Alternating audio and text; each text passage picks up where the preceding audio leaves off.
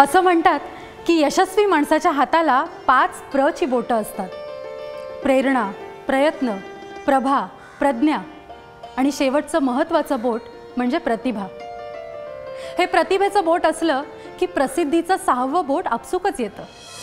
खेळाचं मैदान असो वा चित्रकलेचा कुंचला विज्ञानाची झेप असो वा विणेची तार प्रतिभावंतांनी आपापल्या क्षेत्रात स्वतःचं असं एक स्थान निर्माण केलं. प्रसिद्धीचं एक एक शिखर सर केलं. हीच गोष्ट मराठी संगीत रंगभूमीच्या बाबतीत. इथेही स्वतःचं तेज घेऊन एक एक तारा उदयाला आला. त्या तेजाने रंगभूमी उजळली. असाच एक रंगभूमीच्या क्षितिजावर स्वतेजाने कर्तृत्वाने लख उठून दिसणारा तारा म्हणजे भालचंद्र व्यंकटेश पेंढारकर अर्थात अण्णा पेंढारकर.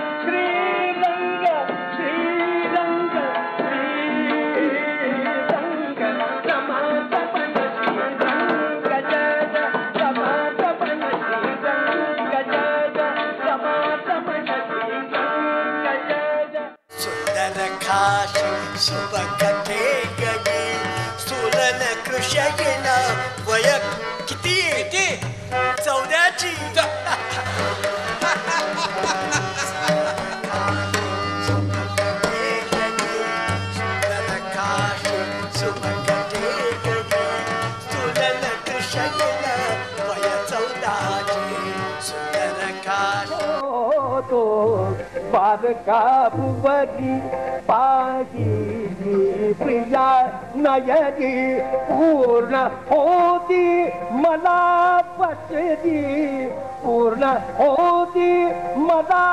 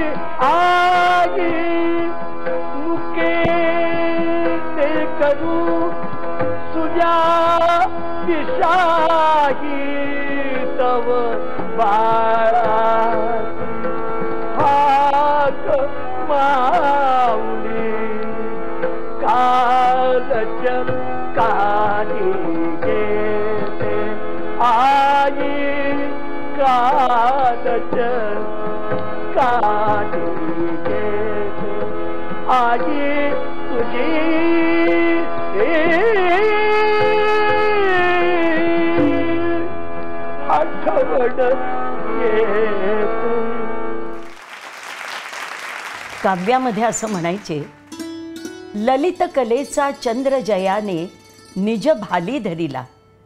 ललित कलेचा चंद्र जयाने निज भाली धरिला. व्यंकटेश सुत भालचंद्र जणू नाट्य दीप गमला. मराठी संगीत नाटक म्हटलं की दर्शन गुणवंतांचे. गुणरसपानं हेची सुख या संगीत मानापमानमधल्या ओळी आठवतात. खरंच संगीत रंगभूमीवर निरतिशय प्रेम करणारी अशी अनेक गुणवान मंडळी होऊन गेली ज्यांच्या गुणांचं रसपान गुणगान कितीही केलं तरी रसिकांचं मनच भरत नाही. संगीत रंगभूमीच्या प्रत्येक वळणावर नवसंजीवनी देणारा एक एक नटराज संगीत रंगभूमीला मिळाला. चाळीशीच्या दशकात रंगभूमीला लाभला एक नवथर तरुण भालचंद्र. नटराज शंकराचंच नाव.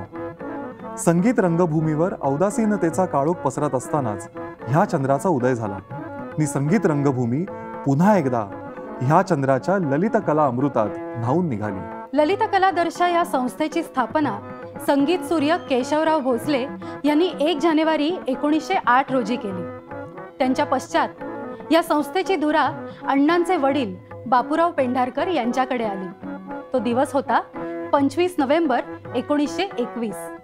पंचवीस नोव्हेंबरला ललित कलादर्श संस्था बापूरावांनी आपल्या पोटच्या अपत्याप्रमाणे स्वीकारली आणि त्याच दिवशी बापूरावांच्या मुलाचा म्हणजेच भालचंद्र पेंढारकरांचा जन्म झाला. केशवराव भोसलेने अगोदर मुळात ही कंपनी स्थापन केली ललित कलादर्श. त्यांच्या मृत्यूनंतर मृत्यूपत्राप्रमाणे बापूंच्या ताब्यात ती आहे बर. कागदपत्राप्रमाणे ती ताब्यात यायला जो दिवस होता तो होता पंचवीस नोव्हेंबर एकोणीसशे एकवीस. आणि मुंबईहून माझ्या आजोळी तार गेली. की आज ललित कला संस्थेची संबंध मालकी माझ्या ताब्यात आली. अशी बापूंची तार तिकडे गेली. आणि माझ्या आजोळाहून मुंबईला तार आली. की आज मुलाचा जन्म झाला तो म्हणजे भारतीय पेंढार बापूरावांनी जवळजवळ सोळा वर्ष संस्था उत्तम चालवली. पण एकोणीसशे सदतीसला बापूरावांचं आकस्मिक निधन झालं. त्यावेळी भालचंद्र पेंढारकर अवघे सोळा वर्षांचे होते. पण जिद्द आणि कर्तृत्व हे अण्णांच्या रक्तातच होतं. आणि म्हणूनच अवघ्या सोळाव्या वर्षी त्यांनी ललित कलादर्शची ध्वजा आपल्या कोवळ्या पण समर्थ खांद्यांवर उचलली. नव्हे ती उंच फडकवण्याचा त्यांनी जणू निश्चयच केला. केशवराव भोसले बापूराव पेंढारकर यांना जोशपूर्ण गायकीची तालीम देणारे रामकृष्ण बुवा वजे यांनीच भालचंद्राला सुद्धा गायनाचे धडे दिले. भालचंद्रांच्या पायाखालची वाट बिकट होती. अडचणींचे काटे होते. आर्थिक परिस्थितीचे खाचखळगे होते. पण अण्णांनी या वाटेवर पाऊल ठेवलं ते आत्मविश्वासानेच. पाठीशी वडिलांची शिस्त होती. मेहनतीवर भिस्त होती. गळ्यात सूर होता. बुद्धीत प्रज्ञेचा पूर होता. डोळ्यात प्रतिभेचा नूर होता. मनगटात रग होती आणि मनात कलेची धग होती. त्या बालीवाला थिएटरामध्ये बरोबर एकवीस वर्षांनी म्हणजे अठ्ठावीस नोव्हेंबर एकोणीसशे बेचाळीसला माझा सत्यजीवलांचा प्रयोग झाला या खादीच्या स्पर्शानं तू गुदगुलीत नाहीस? खऱ्या देशभक्ताच्या हातचं मोलाचं लेणं. मेलेल्या जीवालाही सजीव करेल. दयागला कृपा सागरा भक्तवत्सला केरोपंता माझ्या नवसाला पावलास रे बाबा. आता एका क्षणात तुझी पूजा बनवून नवस फेडून टाकतो. मला वाटतं हं. मला वाटतं पहिल्यापासूनच माझं तुमच्यावर प्रेम होतं. होय ना? ते आपण भांडत होतो ना? हं. तेही प्रेमामुळेच. होय ना? हे. पटलं ना? हो, हो. हे पटलं हो, ना? हो, मग हो. आता लग्न झाल्यावर याशी भांडणार नाही. त्याची एकदम काडी पडून देईल. सदा कद खा पिता. आ, सदा कद खा पिता. आ, सदा कद खा पिता. कद खा पिता. कद खा पिता. मार्गदर्शन गाण्याचं म्हणजे रामकृष्ण बाबा ते आमचे गुरु. वा अण्णा इथे एक गोष्ट मला सहज लक्षात येते. की केशवराव भोसलेंचे गानगुरु सुद्धा गायनाचार्य रामकृष्ण भाऊ वाजे. अगदी बरोबर.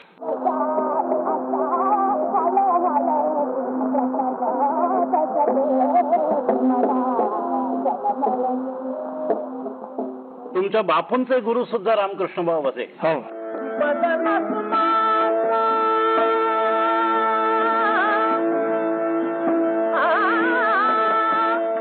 आणि आताच तुम्ही म्हणताय त्याप्रमाणे तुमचेही गुरु रामकृष्ण भाऊ वाजे हो.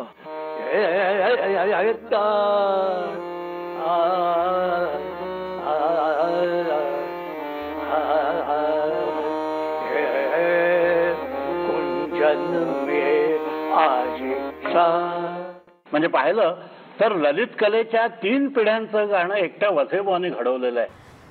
सत्तेचे गुलाम हे नाटक यशस्वी झाले.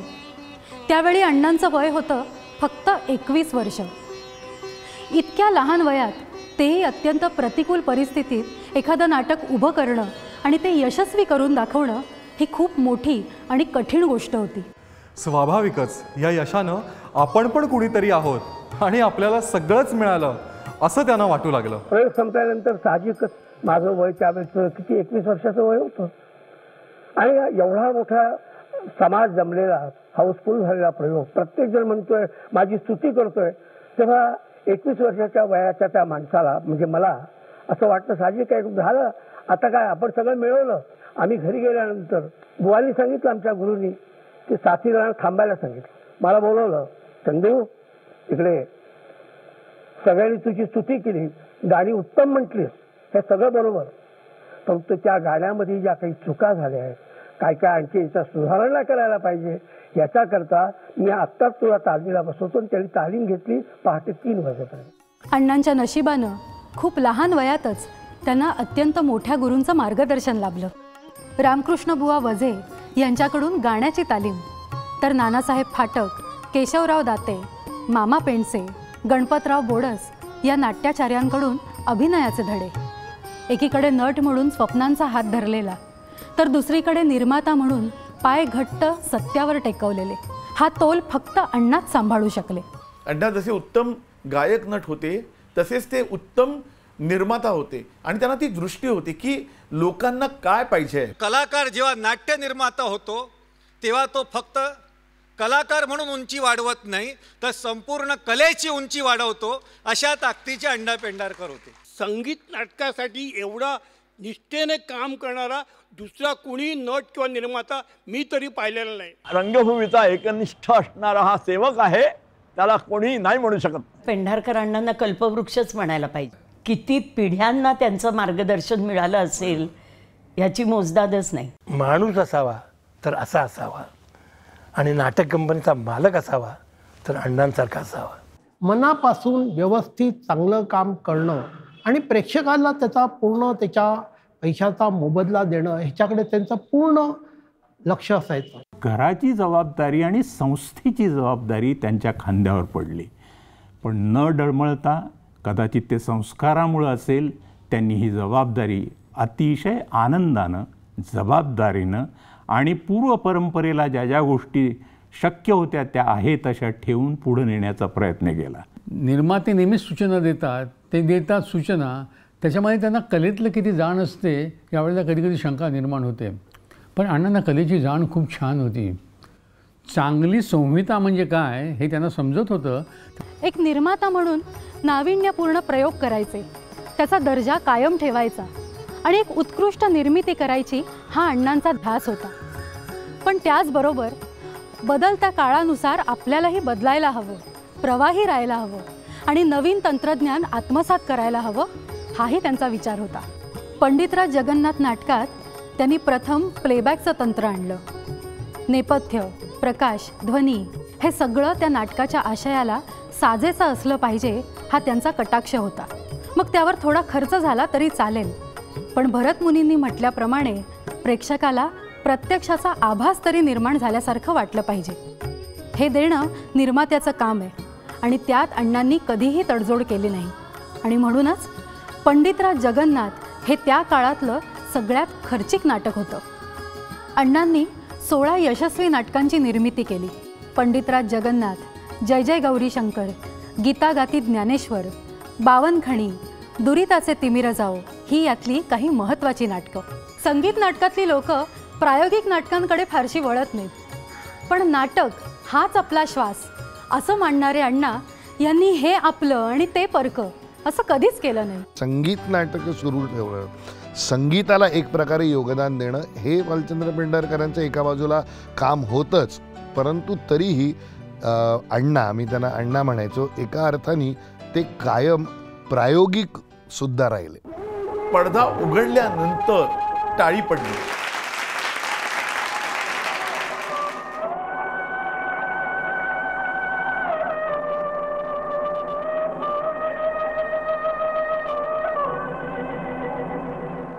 सुरेश खरेंनी अनुवादित केलेलं रक्त नको माझं प्रेम हवे.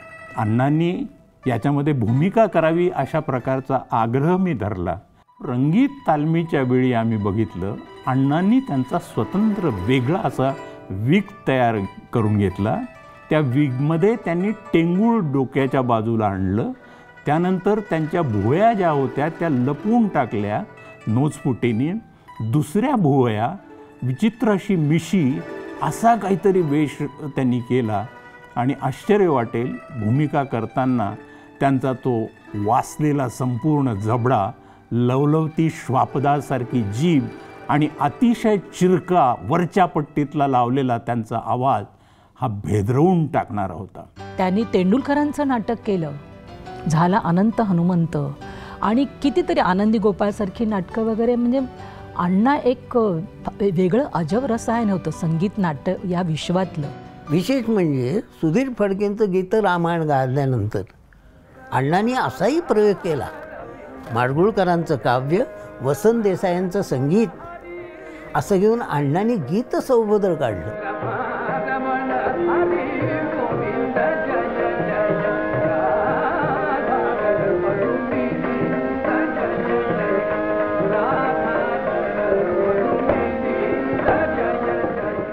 अण्णा पेंढारकरांकडे योगायोगाने आपले आद्य नाटककार विष्णुदास भावे यांच्या बाहुल्या आलेल्या होत्या. आणि हा एक विष्णुदास भावे यांचा वेगळा पैलू जो प्रकाशात आला तो अर्थातच अण्णा पेंढारकरांनी आम्हाला या बावल्या दिल्या. त्याच्यामुळे ज्यांनी माझ्या या बाहुल्या मला हातात दिल्या त्या अण्णा पेंढारकरांना स्मरून आम्ही आमचा कार्यक्रम चालू केला. जेव्हा दोन प्रतिभावंत मंडळी एकत्र येतात तेव्हा त्या एकत्रित आविष्काराबद्दल काय सांगावं? असाच एक सुवर्ण क्षण अण्णांच्या आयुष्यातही आला. स्वरविश्वाला मोहून टाकणाऱ्या गानसम्राज्ञी लता मंगेशकर या अण्णांच्या सहकलाकार झाल्या. अण्णा मला म्हणाले की तुम्ही आणि अण्णा एका नाटकात होतात. जी. कुठचं नाटक ते? भावबंधन. भावबंधन. त्यात आपण कुठची भूमिका केली होती? मी लतिकेची गेली होती भूमिका. लतिकेची. आणि आपल्या बरोबर सहकलाकार कोण होते? अर्थात अण्णा होते. आणि चित्तरंजन होते. पंढरीनाथ होता. हा. माझा. माझा आतेभाऊ. त्यांनी कामण्णाचा केला होता. आम्ही कलावंतांच्या तर्फे असा हा प्रयोग होता. पण त्याच्यानंतर मात्र एक पाच सहा प्रयोग जे केले ते आम्ही ललित कला जशी हा. यांच्या बॅनर खाली यांच्या केलं. बॅनर खाली बरोबर. हे सहा सात प्रयोगानंतर पुढे आणखीन का नाही प्रयोग? तुम्हाला वेळ नव्हता का? त्यावेळेला म्हणजे माझं अगदी स्ट्रगल चालू होतं. आणि रेकॉर्डिंग वगैरे सारखी चालू होती. केली की आता आपण प्रयोग केले इतके. आणि माझं इतकं असं असं काम होत आहे. ते मला वेळ मिळत नाही. तेव्हा चालेल का? म्हणजे सौजन्याने विचारलं मला त्यांनी. पूर्वीच्या काळी संगीत नाटकातला नट हा एकतर गायक तरी असेल नाहीतर नायक. गायन आणि अभिनय ह्या दोन्ही कलांवर तेवढीच पकड असणारे कलावंत त्या मानाने फार कमी होते. बालगंधर्व दीनानाथराव मंगेशकर केशवराव भोसले भाऊराव कोल्हटकर ही मंडळी मात्र खरी गायक नट होती. अण्णांचं नाव अण्णांचं स्थान याच श्रेष्ठ गायक नटांच्या मांदियाळीत येतं. आई तुझी आठवणी येते. दुरिताचे तिमिर जावो या नाटकातलं दिघूच्या तोंडचं गाणं. या गाण्यात गायन विस्तारापेक्षाही त्या शब्दातलं कारुण्य रसिकांच्या हृदयापर्यंत पोहोचवणं जास्त महत्त्वाचं होतं.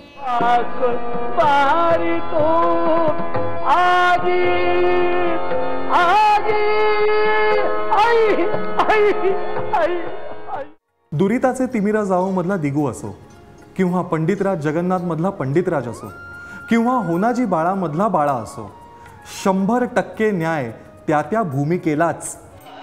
गाताना पंडितराज गातोय असंच वाटलं पाहिजे. अण्णा पेंढारकर त्यात दिसता कामा नये इतकं स्व विसर्जित करून भूमिका साकारल्यामुळेच ह्या सगळ्या भूमिका चिरंतन झाल्या.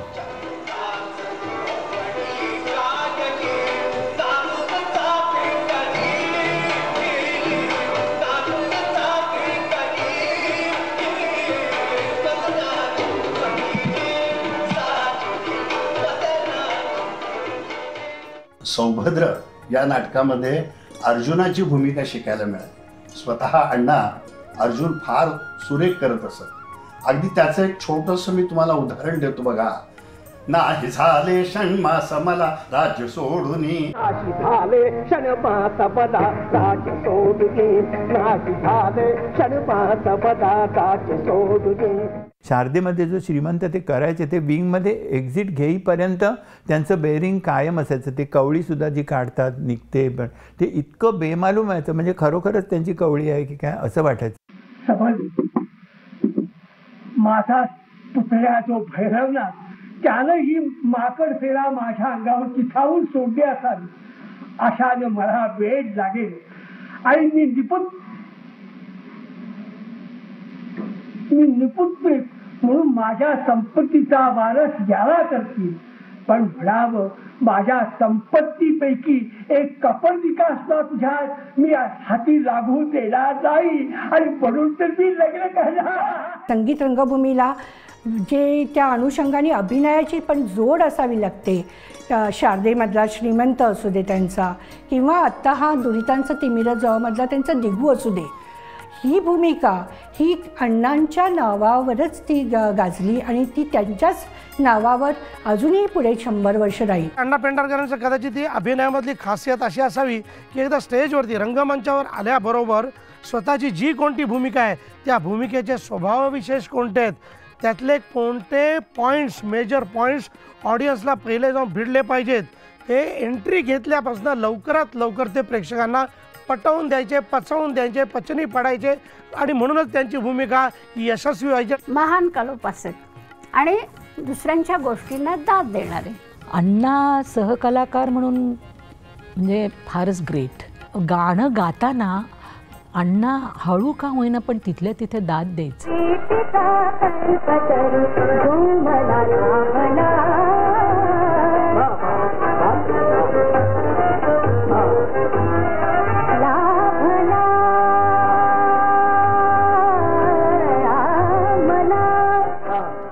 स्वतः हलाखीच्या परिस्थितीतून आलेले. त्यामुळे बॅकस्टेजच्या लोकांची परिस्थिती ते जाणत होते. या मंडळींमुळे आपण पुढे निर्धास्तपणे काम करतो. ही मंडळी पाठीशी असतात हे अण्णा कधीही विसरले नाही. अण्णा दौऱ्यामध्ये सगळे जरी कलाकार जेवले तरी बॅकस्टेज जेवेपर्यंत अण्णा कधी जेवायला बसले नाहीत त्यांच्याबरोबर जेवायला बसायचे. अहो अण्णांच्याच पुढाकाराने पंच्याहत्तर शहात्तरच्या काळात पहिली बॅकस्टेज आर्टिस्ट युनियन स्थापन झाली. अण्णांनी त्यांच्या जीवनात नाट्यप्रवासात अनेक मंडळी जोडली अनेक स्नेही जमवले. ऑर्गनवर किंवा संवादिनीवर साथ देणारे गोविंदराव पटवर्धन हे तर अण्णांचे जीवश्च कंठश्च मित्रच झाले. प्रयोग संपला. वसंतराव पुष्कळ लोक आत आले आणि गिरिजाचं कौतुक केलं. पण सर्वात कौतुक कुणी केलं असेल? आमचा गोविंदा पटवर्धन अण्णा काळे काय? आमचे गुरुवरी म्हणजे वझेबा काय? ही माणसं तसाच गोविंदा. तो गोविंदा म्हटला की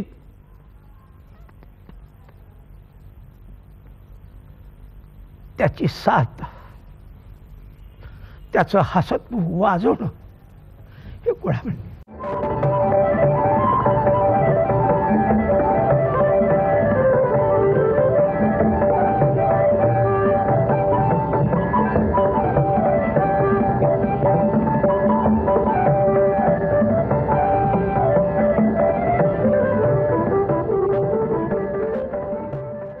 अण्णांनी नाटकांबरोबरच काही चित्रपटातही कामं केली. एकोणीसशे बावन्न साली आलेल्या अमर भूपाळी या चित्रपटात व्ही. शांताराम यांच्या दिग्दर्शनाखाली त्यांनी बाळाची भूमिका केली.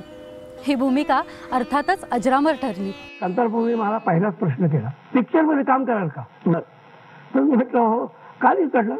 म्हणाले हे पहा ती जी कॅरेक्टर आहे त्या पिक्चरमधली त्याच्याकरता तुम्हाला गोटा करावा लागेल. मग अडचण काय त्यात? हा गोटा आत्ता आहे. त्यावेळेला नव्हता. ही अडचण. तेव्हा मी त्याला सांगितलं की हो तुम्ही म्हणता ना तर ज्या परीचे कॅरेक्टर नाटकात असो सिनेमात असो असेल त्याप्रमाणे आपल्याला मेकअप हा केलाच पाहिजे. ताबडतोब माझ्याकडे भूमिका आली म्हणजे बाळाची. आणि अमर रुपाळीमध्ये त्यांनी बाळाच्या भूमिकेकरता मला तिथे नियुक्त केलं.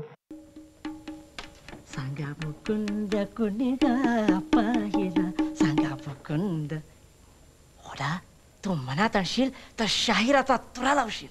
बाळ्या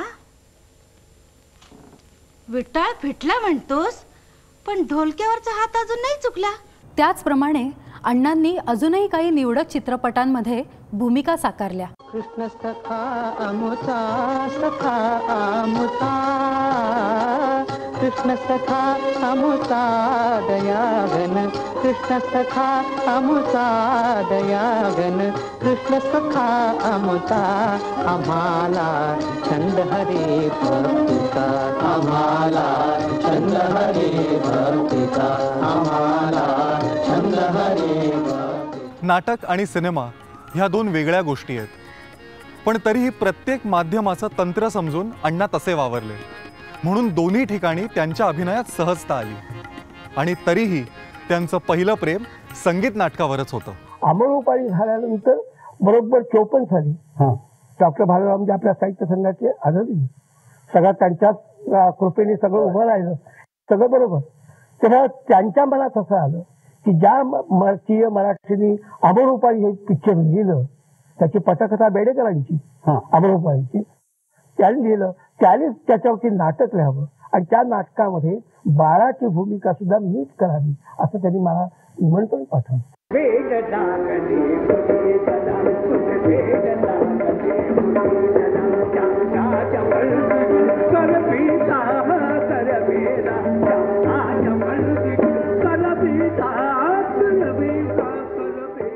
त्यांनी मला सांगितलं की ही संगीत नाटकातली लावणी आहे. तेव्हा ती त्या दर्जेच्या दर्जेदार झाली पाहिजे. त्या नाटकाला कुठेही बाधा म्हणजे लावणी म्हणजे नुसतंच कंबर हलवणं डोळे मिटणं डोळा मारणं असं नसतं. तर त्याच्यामध्ये तुझी कला दिसली पाहिजे. हे त्यांनी मला तेव्हा सांगितलं आणि ती लावणी मी त्या पद्धतीने सादर केल्यावर टाळ्यांचा नुसता कडकडाट तिथे मला अनुभवायला मिळाला. या नाटकाला होनाजी बाळा म्हणायचं की बाळाजी होना म्हणायचं? इतकी ती भूमिका तुमची नाटकातली सुद्धा का? होनाजी बाळा. बरं का? होनाजी बाळा. पुन्हा आगळा.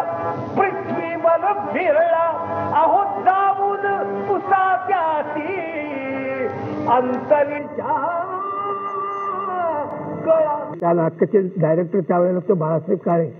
त्याला मी विनंती केली. तर या नाटकामध्ये बैठकीची लावणी न म्हणता बैठकीमध्ये आधा करून मी लावणी म्हणते तर काय होईल? असं त्याला मी प्रश्न केला. त्याला ती कल्पना आवडली. आणि म्हणून ती लावणी अतिशय लोकप्रिय झाली.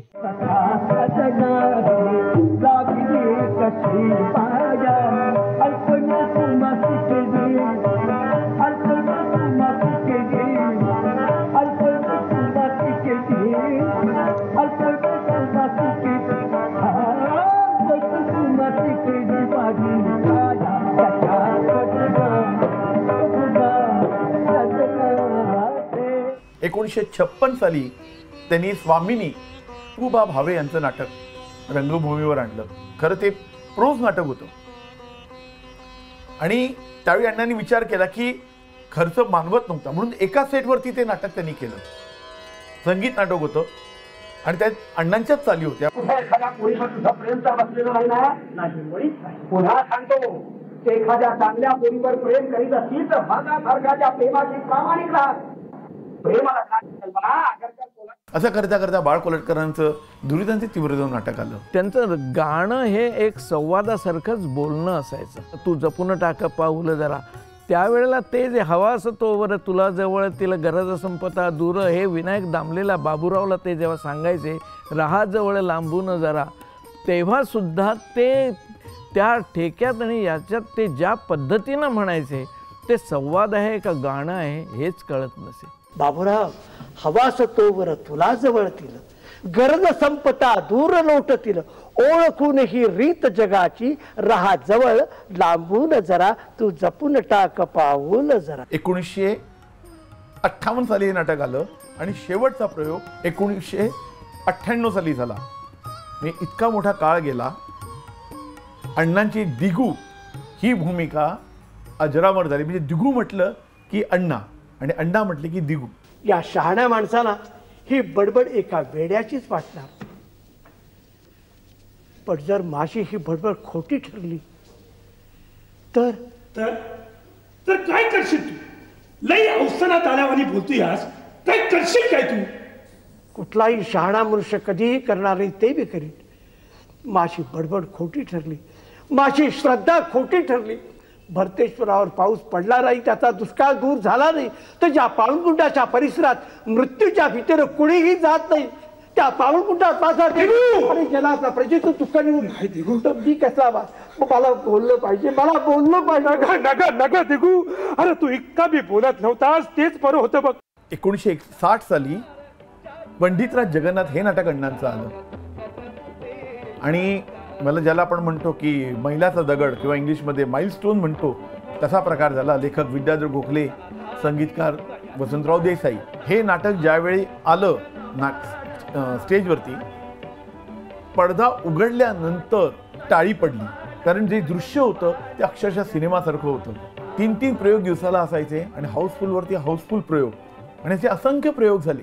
फक्त अण्णांनीच नाटकावर प्रेम केलं असं नाही. तर रंगभूमीनेही तिच्या या पुत्रावर जीवापाड प्रेम केलं. त्याला भरभरून यश दिलं. यश किती? तर जय जय गौरी शंकर या नाटकाच्या शुभारंभाचे तिन्ही प्रयोग हाऊसफुल झाले इतकं यश.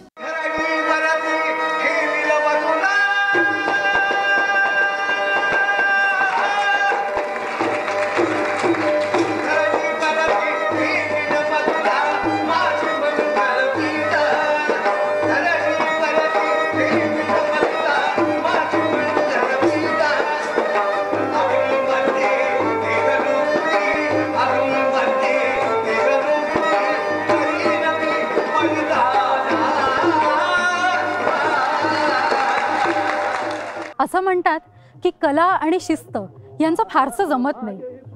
पण अण्णांनी मात्र ललित कला दर्शाचा पाया हा शिस्तीचा आखला. कलावंताच्या प्रतिभेला त्याच्या कलेला चौकट नको पण त्याच्या वर्तनाला मात्र शिस्तीची चौकट हवीच हा अण्णांचा कटाक्ष होता. खास करून वेळ पाळण्याबाबत अण्णा कमालीचे आग्रही होते. त्या संस्थेचं ब्रीदच होतं की वेळेवर नाटक सुरू करणं. ऑडियन्स असो नसो पडदा बाजूला गेलाच पाहिजे. बरोबर आठ वाजून तीस मिनिटांनी पडदा बाजूला झाला. लोकांनी नेहमीप्रमाणे टाळ्या वाजवल्या. आणि आश्चर्य असं की पडदा बाजू झाल्यानंतर हातामध्ये उभा स्टँड असणारं माईक घेऊन अण्णांनी प्रवेश केला. आणि अण्णांनी सुरुवात केली. की आजच्या नाटकाची पहिली एंट्री ज्यांची आहे ते प्रसाद सावकार अजून पोचलेले नाहीत तोपर्यंत मी नांदी म्हणणार आहे. आणि बावीस बावीस ते चोवीस मिनटं अण्णांची नांदी चालू होती. ललित कला दर्शाचा प्रयोग सुरू झाला. म्हणजे रसिकांनी आपापली घड्याळं त्या वेळेत जुळवावीत. इतकी ललित कला दर्शाची वेळ पाळण्याबाबतची शिस्त होती. आणि हा वक्तशीरपणा कधीही चुकला नाही. मग कितीही उच्च पदस्थ व्यक्ती नाटक पाहायला येणार असो कुणासाठीही थांबणे नाही. सर्वप्रथम मी आपली सर्वांची क्षमा चाहतो की आजचा हा कार्यक्रम वेळेवर सुरू होणार हे माहिती असूनही मी उशिरा पोचलो त्यामुळे मी आपल्या सर्वांची क्षमा चाहतोय. संगीत नाट्य क्षेत्रातली ही संस्था शंभर वर्ष टिकवणं हे काही सहज शक्य आणि सोपं आहे असं मी मानत नाही. आज या संस्थेच्या पाठीमागं अण्णांसारखं एक व्यक्तिमत्व आहे जे याही वयामध्ये तरुणाला लाजवेल अशा प्रकारचं काम ते सतत करत राहतात. एकोणीसशे एकसष्ट साली नाट्य परिषदेच्या अधिवेशनात ललित कलादर्शाचा प्रयोग ठेवला होता. दिल्लीच्या फाईन आर्ट सोसायटीमध्ये पंडित जवाहरलाल नेहरू हे नाटक बघायला येणार होते. पण काही कारणानं त्यांना यायला उशीर झाला. प्रयोग आपण येण्यापूर्वीच सुरू झाला आहे हे कळल्यावर पंडित नेहरूंना आश्चर्य वाटलं. त्यावर अण्णा पेंढारकर नम्र स्वरात म्हणाले जशी तुमची भारतीय नागरिकांप्रती बांधिलकी असते तशी आमचीही आमच्या रसिकांप्रती बांधिलकी असते. आमचे प्रयोग वेळेतच सुरू होतात. हे ऐकताच पंडित नेहरूंनी कौतुकाची थाप अण्णांच्या पाठीवर दिली. संगीत अभिनय निर्मिती या सगळ्या पैलूंप्रमाणेच माध्यमाचं तंत्र शिकून घेण्यातही अण्णांना विशेष रस होता. तांत्रिक बाजूवर त्यांची हुकूमत होती हो. मग ते रेकॉर्डिंग असेल लाईटिंग असेल साऊंड सिस्टम असेल सेटिंग असेल ह्या सगळ्यांचं त्यांना इतकं ज्ञान म्हणजे कुर्निसातच करावा त्यांना. त्यांनी तीनशेच्या वर नाटकांचं ध्वनिमुद्रण केलेलं आहे. पुढच्या पिढीसाठी ही फार अजोड अशा प्रकारची खाण त्यांनी मागं ठेवलेली आहे. त्या काळात त्यांनी नाटकं ध्वनिमुद्रित करून ठेवली चित्रित करून ठेवली. आणि त्याचं संकलन कसं करायचं हेही अण्णांनी शिकून घेतलं. एका अर्थाने अण्णांनी संगीत नाटकांचा एका काळचा इतिहासच जतन करून ठेवलाय. यासाठी चांगल्या संग्रहकाची दृष्टी असावी लागते. ती अण्णांकडे होती. आज हा सगळा त्या सुवर्ण काळाचा ठेवा अण्णांच्या दूरदृष्टीमुळेच सुरक्षित राहिलाय. तर एकदा असंच आम्ही स्टुडिओत बसलेले असताना अण्णा म्हणाले हा टेप रेकॉर्डर चालत नाही आपण पाहूया का? म्हटलं पाहूया आपण. तर आम्ही मी तो उघडत होतो. तेवढ्यात अण्णा म्हणाले याच्या ॲम्प्लिफायर स्टेजमध्ये काहीतरी प्रॉब्लेम आहे. मी तो टेप रेकॉर्डर उघडला आणि एक एक चेक करता करता पाहिलं तर खरोखरच आउटपुट स्टेजमध्ये प्रॉब्लेम होता. तर मी अण्णांना दाखवलं की हा वाल्व डिफेक्टिव्ह आहे. त्यांनी लगेच टेबलाचा खण उघडला. त्यात बरेच वाल्स होते. त्याच्यामधला बरोबर वाल पिकअप मला सांगितला हा वाल घ्या आणि लावा. तो बरोबर आउटपुट सिक्स व्ही सिक्स त्यांनी काढून दिला होता. हे सगळं अण्णांचं ज्ञान बघून मी एकदम आश्चर्यचकित झालो. मला असं वाटतं की अण्णांना त्या काळातले टेक्नोसेव्ही म्हणायला पाहिजे. त्यांच्याकडे एक चलत छायाचित्राचा एक कॅमेरा होता. साहित्य संघाच्या वरच्या रेकॉर्डिंग रूममध्ये अण्णांनी अनेक नाटकं ध्वनिमुद्रित केलेली. आणि माझ्या आईचं तरुण वयातलं स्वयंवर नाटक हा आमच्यासाठी पृथ्वी मोलाचा ठेवा आहे. अण्णांनी ते सगळी रेकॉर्डिंग्स एवढी जवळजवळ चाळीस वर्षांची रेकॉर्डिंग्स ती डिजिटाईज केली and his work is as good as any archivist तर एवढ्या डिटेलमध्ये त्यांनी प्रत्येक रेकॉर्डिंगच्या मागे कुठचा प्रयोग कुठच्या तारखेला कोण होतं साथीहार कोण होते हे सगळं लिहिलं. प्रत्येक नाटक नाटकाचा प्रत्येक प्रयोग हा एक उत्सवच. पण तरीही वेगवेगळे खास नाट्य महोत्सव अण्णांनी भरवले. तब्बल एकशे दहा वर्षांची परंपरा असलेल्या ललित कला दर्श या संस्थेचा शतक महोत्सव हाही अण्णांना साजरा करण्याचं भाग्य मिळालं. अण्णांनी ललित कला दर्शची शताब्दी साजरी केली.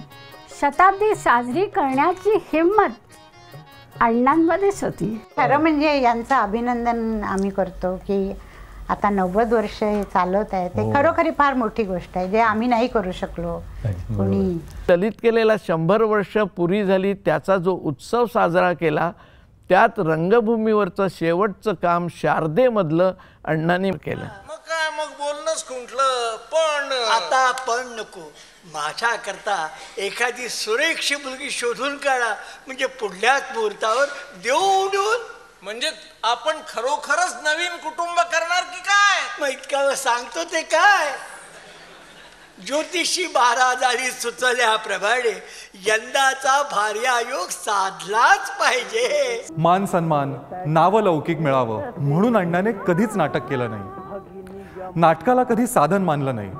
पण खरं तर तेच त्यांचं साध्य होतं. पण कलेच्या मळ्यात घाम गाळल्यावर त्या घामाचे पुरस्कार रूप मोती नाही झाले तरच नवल. अण्णांच्या रंगभूमीवरच्या निष्ठेची दखल प्रेक्षकांनी जाणकारांनी पुरस्कारांच्या माध्यमातून घेतली. विष्णुदास भावे पुरस्कार दीनानाथ मंगेशकर पुरस्कार केशवराव भोसले पुरस्कार बालगंधर्व पुरस्कार संगीत नाटक अकादमी पुरस्कार महेंद्र नटराज पुरस्कार तसंच महाराष्ट्र शासनाचा जीवन गौरव पुरस्कार.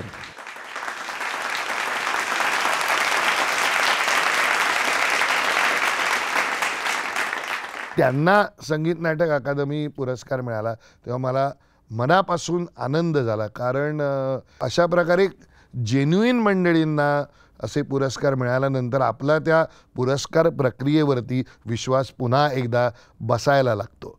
नटांचा संसार हा लोकांसाठी नेहमीच एक कुतूहलाचा विषय असतो. पण अण्णांची सात्विक वृत्ती ही त्यांच्या संसारातही दिसून आली. अण्णांनी जसं रसिकांना आपल्याशी कायम बांधून ठेवलं तसंच त्यांनी त्यांच्या घरातल्या मंडळींना सुद्धा मोठ्या प्रेमानं जपलं. मुलांना घडवलं. प्रसाद गिरिजा आणि ज्ञानेश या तीन मुलांना नाटक संगीत आणि उत्तम माणूस होण्याचे संस्कार दिले. शहाऐंशी सालापर्यंत त्यांचं बावनखडी नाटक चालू होतं. तोपर्यंत ते प्रेक्षकांती होते रसिकांती होते. जशी नाटकं बंद होत गेली तसे ते हळूहळू आमचे होत गेले. खऱ्या जीवन रंगभूमीवरही पती आणि पिता या भूमिका त्यांनी चोख बजावल्या प्रेमाने खुलवल्या आणि त्यात अण्णांना मोलाची साथ लाभली ती त्यांच्या पत्नी सौ मालतीबाई पेंढारकर यांची. अण्णांची कन्या गिरिजा काटदरे जावई राजन काटदरे नातू आदित्य आणि नाचून मानसी. अण्णाने माझ्या सौभद्र आणि संशयकल्लोळ या नाटकातल्या भूमिका बसवल्या गाण्यांसकट. वद जाऊ कुणाला शरण ग? वद जाऊ कुणाला शरण? करील जो हरण संकटांचे. करील जो हरण संकटांचे. मी धरीन चरण त्या सखये सखये वद जाऊ कुणाला शरण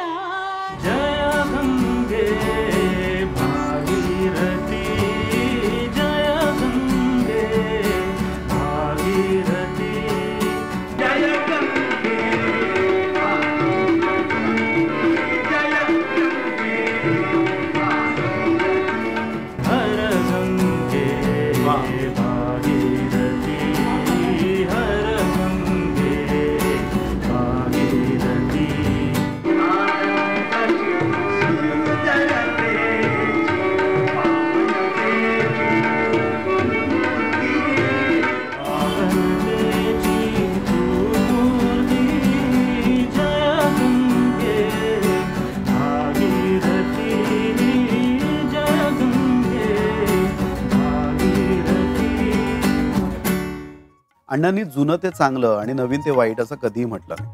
अण्णा प्रत्येक गोष्टीत अपडेटेड असायचे. अण्णांना चित्रपट खूप आवडायचे. रेखा किशोर कुमार त्यांचे अत्यंत आवडते ना. क्रिकेट त्यांना खूप आवडायचं. सुनील गावस्कर एकदम फेवरेट राजकारणाबद्दल खूप त्यांना चांगला जिव्हाळ्याचा विषय होता राजकारण.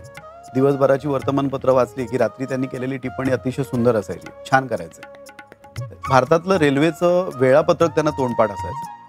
कुठली गाडी कुठल्या स्टेशनमधनं कधी निघणार किती डब्यांची गाडी असेल हे सगळं त्यांना अगदी तोंडपाठ असायचं.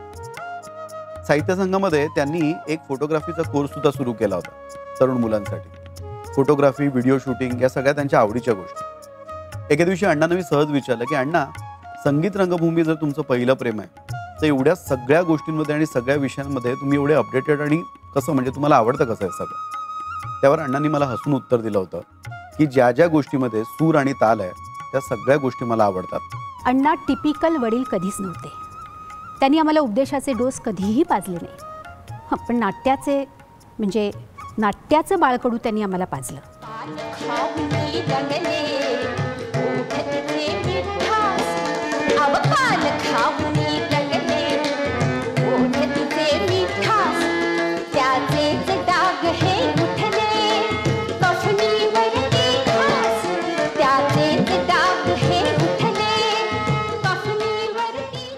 धार्मिक पूजा बिजा हा प्रकार त्यांना आवडायचा नाही. त्यांनी फक्त रंगभूमी त्याची पूजा तिकडे जे जे काही करायचं आहे ते त्याच्यासाठी करायचं.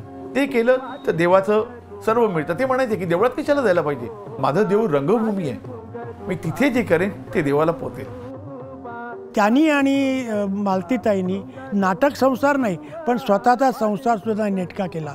त्या जर खंबीरपणे अण्णांच्या मागे उभ्या नसत्या तर आत्ता अण्णांनी जे काही अचीव केलं ते झालं नसतं. अण्णांनी जसे आमच्यावर नाट्याचे संस्कार केले तसेच एक घरगुती घरातले संस्कार माझ्या आईने केले मालती पेंढारकर जी स्वतः एक अतिशय उत्तम अभिनेत्री होती. तिला उत्तम अभिनेत्री म्हणून स्वतःची एक अशी ओळख होती. ललित कलेच्या अनेक नाटकातनं तिने कामं तर केलीच पण बाहेरसुद्धा गुंतता हृदय हे अश्रूंची झाली फुले सुरुंग अशा विविध नाटकातून तिच्या भूमिका गाजल्या. तिच्यामध्ये अभिनेत्री आणि गृहिणी असं एक अतिशय उत्तम कॉम्बिनेशन होतं. आणि म्हणूनच अण्णांच्या पासष्ट वर्षाच्या कारकिर्दीत ती त्यांच्या पाठीशी खंबीरपणे उभी राहिली. अण्णांची कारकीर्द फुलवायला माझी आईची आईचा खूप मोठा सहभाग आहे. आई नुसती आमची आई नव्हती तर त्या ललित कला दर्शनच्या सर्व कलाकारांची आई होती. I feel very fortunate and even privileged in the accident of birth that I was born to the parents I was and that I had Bhalachandra Pendharkar and Malati Pendharkar for a mama and mami. ती पण स्वतः नाटकात काम करायची उत्तम काम करायची उत्तम गळा होता गाणं होतं.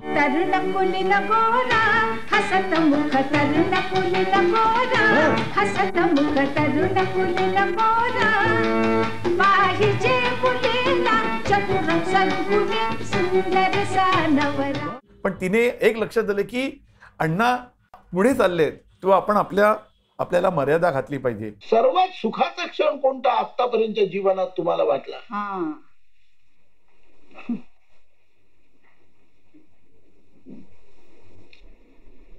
अण्णांचा एकसष्टावा वाढदिवस साजरा. तुम्ही सगळ्यांनी केला बरोबर त्यावेळेला मी स्टेजवरती होते हं. आणि एक बहुतेक मोठी मोठी जी माणसं होऊन गेली.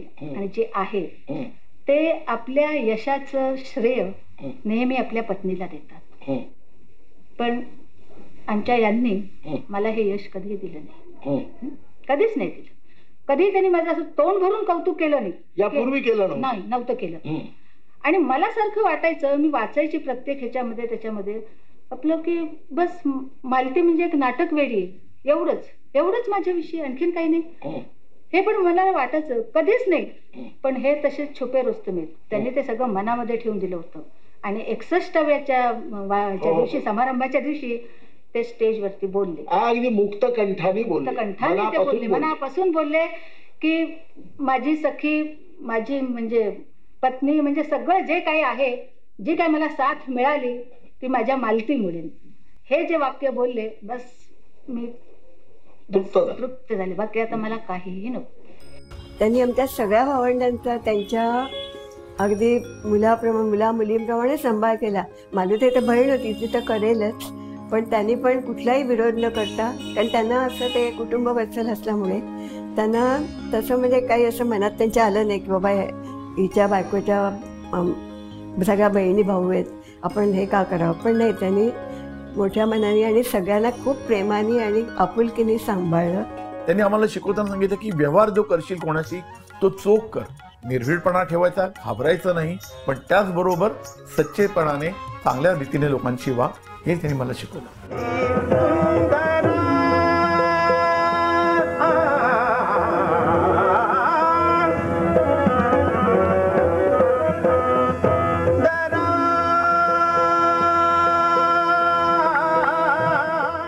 जिथे भक्ती असते तिथे परमेश्वराचं वास्तव्य असतं. मला असं वाटतं की जिथे जिथे भक्तीपूर्वक मराठी संगीत रंगभूमीचं कार्य सुरू असेल तिथे अण्णा नक्की असतील आम्हाला आशीर्वाद द्यायला. माझी आईसुद्धा माझ्याबरोबर असेल. पुढच्या जनरेशनला त्यांची संगीत रंगभूमी जर उभी करायची असेल तर जुनी संगीत रंगभूमी नक्की काय होती हे कळायचं असेल तर त्यांना भालचंद्र पेंढारकर ललित कला दर्शमधले समजणं अत्यंत आवश्यक आहे. अण्णांनी सदुसष्ट वर्षी संस्था चालवली. दहा बारा वर्षे संस्था बंद पडली होती. एकोणीसशे तेहतीस पस्तीस साली ग्वाल्हेरला ललित कलादर्श वडिलांच्या मृत्यूनंतर बंद पडलेली संस्था हिरिरीने पुन्हा त्या काळामध्ये ज्यावेळी नाटकाला काही उत्पन्न नव्हतं नाटकाला काही किंमत नव्हती समाजाच्या दृष्टीने त्याला काही मान्यता नव्हती अशावेळी ती संस्थे संस्थेचा झेंडा याने पुन्हा उचलला खांद्यावरती घेतला. आणि नुसता घेतला नाही सदुसष्ट सदुसष्ट वर्ष हा झेंडा खांद्यावर घेऊन ती मिरवत आहेत. संगीत रंगभूमीचं पुनरुत्थानाचं फार मोठं श्रेय त्यांना दिलं पाहिजे. बेचाळीसपासून दोन हजार सातपर्यंत जे संबंध ललित कलादर्श चालवली तशाच तऱ्हेची कंपनी पुढे चालवावी असं मी ज्ञानेशला न- नीलाक्षीला आणि गिरजाला सांगतो. आणि आशीर्वाद देतो की तुम्हाला यश येईल. पंचवीस नोव्हेंबर एकोणीसशे एकवीस रोजी ललित कलादर्शाची नांदी गात अण्णांनी या जीवन रंगभूमीवर प्रवेश केला. आयुष्यभर नाटकासारख्या सर्वांग सुंदर ललित कलेची आदर्श साधकासारखी अण्णांनी उपासना केली. कधी नट कधी गायक निर्माता तंत्रज्ञ अशा विविध भूमिकांमधून संगीत रंगभूमीची सेवा केली.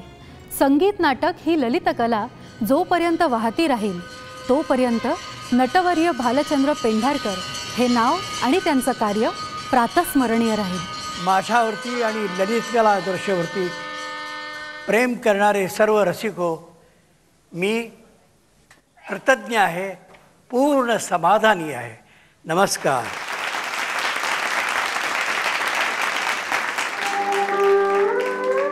निरोप येईल वरचा तेव्हा होशील सर्वा घरचा निरोप जेव्हा येईल वरचा तेव्हा होशील सर्वा घरचा तोवर या रिपू जगाचा तू मुख देतो तो नजरा तू जपून टाक पाऊ नजरा जपून टाक पाऊ नजरा जीवनात द्या मुचा पिला. जीवनात द्या मुचा पिला.